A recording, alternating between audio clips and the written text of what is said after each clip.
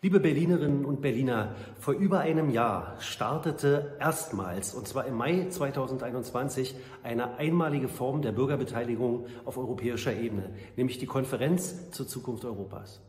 Alle Europäerinnen und Europäer waren aufgerufen, ihre Ideen und Vorschläge zur Weiterentwicklung, zur Zukunft der Europäischen Union zu übermitteln.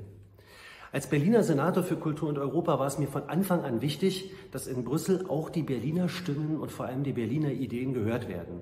Und deswegen haben wir hier in den vergangenen Monaten zahlreiche Veranstaltungen stattfinden lassen in den Bezirken und auch auf Landesebene unter dem Motto Berliner Bürgerdialog zum sozialen Europa. In Berlin und in ganz Europa sind starke Empfehlungen und Ideen für die Zukunft Europas entstanden.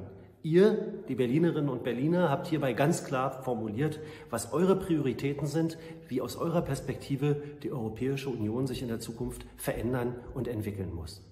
Ihr wünscht euch zum Beispiel, dass die Lebensmittelverschwendung in Europa bekämpft wird, dass berufliche Neuanfänge besser unterstützt werden, dass die mentale Gesundheit mehr Aufmerksamkeit bekommt und dass Mobilität auch generationengerecht organisiert wird. Aber jetzt soll es konkret werden. Was kann und was soll von Berlin aus angestoßen werden, um eure Ideen in Europa zu verwirklichen? Gemeinsam mit euch wollen wir die Berliner Empfehlungen jetzt zu konkreten Initiativen weiterentwickeln. Und dazu haben wir eine digitale Umfrage gestartet. Ab dem 15. September habt ihr neun Wochen Zeit, um Berliner Ideen zu diskutieren, zu kommentieren und mit neuen Impulsen zu versehen.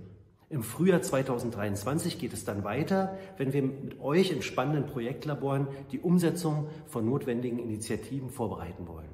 Macht mit bei Europa, jetzt wird's konkret.